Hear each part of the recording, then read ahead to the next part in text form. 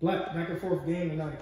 Um, just just talk to me how you kept your composure throughout this this contest. We're just so good at keeping our composure in any game. I mean, all of our games tend to be close. We gotta we gotta cut that out. But even if they are close, we built to tough it out. Every game we're gonna tough it out no matter what. Now I know it started on the defensive end. I mean, it's times we were down, but you guys were not out. But you guys kind of together on the defensive end. Just talk to me how important that is before you can get back. Yeah, we, we, we pride ourselves on defense. We know if we play defense, we can beat any team in the country.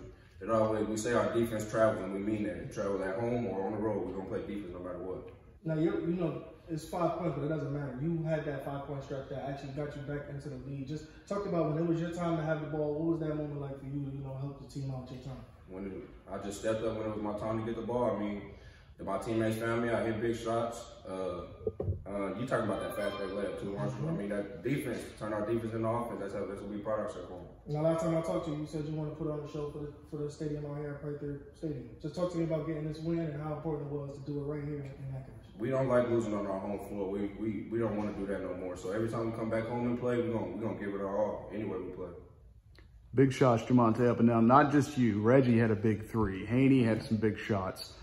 This team's belief in one each other, in each other. Where did that come from, or where does that come from? I mean, we we brothers on and off the court. It's just not we just not a basketball team. We a family, so we trust each other no matter what in any situation, and that just uh, that just goes on the court as well. We trust anybody to make any type of play.